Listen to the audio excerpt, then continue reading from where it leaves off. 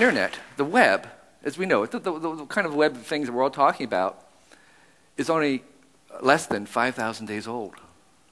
Okay? So all the things that we've seen uh, come about, starting, say, with uh, satellite images of the whole Earth, which we couldn't even imagine happening before, all these things rolling into our lives, just this abundance of things that are right before us, sitting in front of our laptop or our desktop, this, this kind of cornucopia of stuff just coming on, never ending.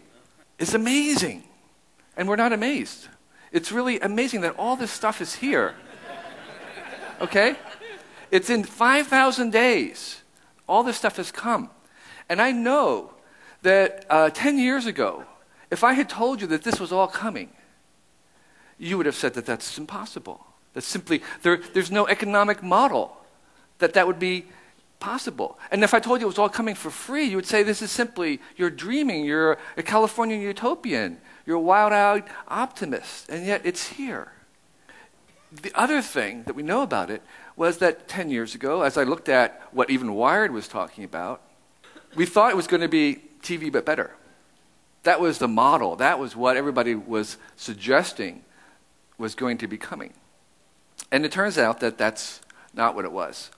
First of all, it was impossible, and it's not what it was. And so, one of the things I think we're learning, if you think about like Wikipedia, it's something that was simply impossible.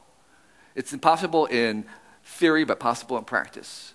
And if you take all these things that are impossible, I think one of the things we're learning from this era, from this last decade, is that we have to get good at believing in the impossible.